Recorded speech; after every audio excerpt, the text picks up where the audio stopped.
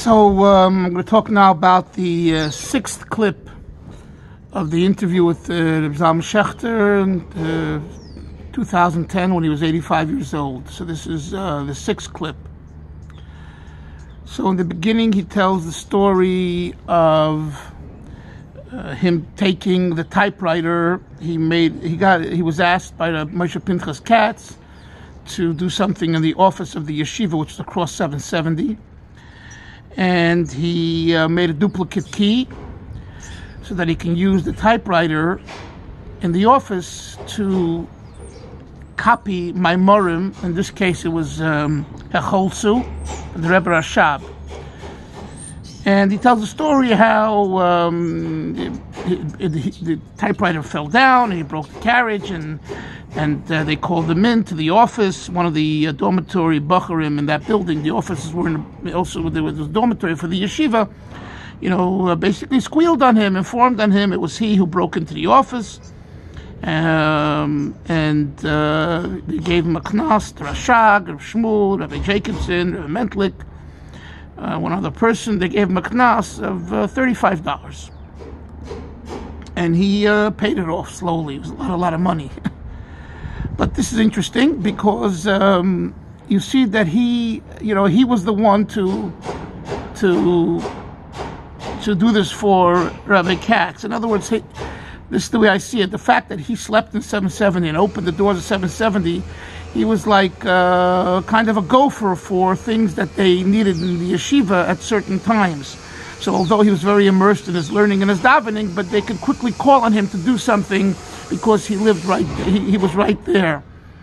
And uh, you also see that he, uh, as we say, at verstanden an Inyan, he, he got it. You know, if he needed to make a duplicate key to be able to type my modem, uh, kind of, you know, because in those days things were not around, they weren't publishing, and and it was uh, Yakara Matzias, it was very precious. So he did what he, he did what he had to do.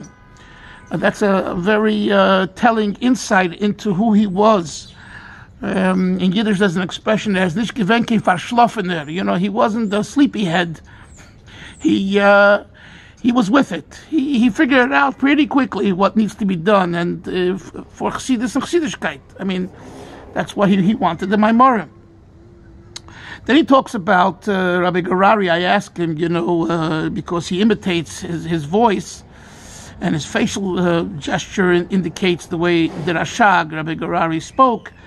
And I asked him about the Rashag, and from there we get to talk about the whole transition period of Tufshin Yud 1950, and we're coming up now to Yud Shvat, you know, uh, who should be the Rebbe and all that. And for the various things that Zalman says, he says it was very clear. There's no, uh, there's no shaila, there's no question who should be the Rebbe. You know, he, he brought some stories to support that. Uh, the story with the, by the Tahara, which I found interesting. He says that the main person doing the tahara was the shamish uh, of the Chevra Kadisha, who was a Chaim Berlin uh, person. Uh, Chaim Berlin wasn't exactly, uh, you know, um, the Lubavitch yeshiva, to put it mildly. I wrote about that in my book, um, you know, uh, Rabbi Hutner and Rebbe. So, but he was he he says almost says he was in charge, kind of of the of the Tahara of the previous Rebbe's uh, holy holy goof, holy uh, uh, goof kachay. And so he he would come out of the room, uh, have some questions. So who did he turn to to ask his questions of halacha and and, and minhag and custom was the Rebbe, the Ramash. He, although Zalman was standing right there saying Tilim, with the Ramash saying Tilim, the Rebbe saying Tilim, and, and the Rebbe Gourary, the Rashag. He didn't ask the Rashag, even though he was older. So Zalman says he, he saw right away and understood that this is uh, the future Rebbe is right here, the Ramash.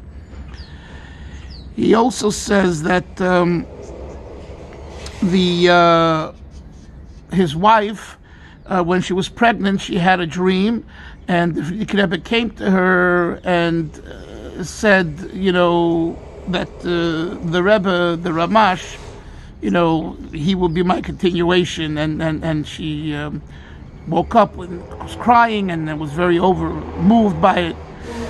It's interesting that Zalman shares that, uh, you know, kind of intimate moment in his personal life, but he brings that as proof to to the question that I asked, to the answering the question that that uh, it was very obvious. And then he says a line in, the middle of this uh, clip number six. He says uh, the difference between them was was great. It's not the exact words he uses, but and he shakes his head, you know, makes a, a facial gesture, implying like, "Come on, you know, it's it's like, you know, night and day as far as who should be the next rebbe." So these are very interesting things. He says another thing that I never heard that the Rebbe in the beginning with the Ramash when he davened he covered his his his hat with his talus because he didn't want people to see that he's wearing you know more than one set of tefillin because the Rebbe put on the four pairs of tefillin. Um, that I never heard that he did it that way, so that was very interesting. In general, what I walk away with from this clip is, um, oh, he says another thing I, that when he was sometimes in Yechidus, the Frierdiker Rebbe said, so what did my son-in-law, the Ramash, say? And he said, over, and he said, uh, uh, uh, uh you know, like, um, um, Zalman says he, the interpretation of that uh, uh, means you didn't exactly understand it this way, exactly. I don't know if that was the shot, you know, I don't know if that's the meaning, and whatever it meant, it meant. But one thing we, we take away from this uh, is that um, he was like uh, he was able to he had these yichidus, and again, I'm not I'm not saying it was every day and every week and every month, but how many other uh, Bachrim 770 during those days had um, such uh, occur, you know yichidus in and then and were able talking to the to the previous Rebbe about the son-in-law, about the Ramash. I mean, that's an amazing thing. So. Um, I think there's a lot of very, very important short things in, in, in this segment that we need to focus on.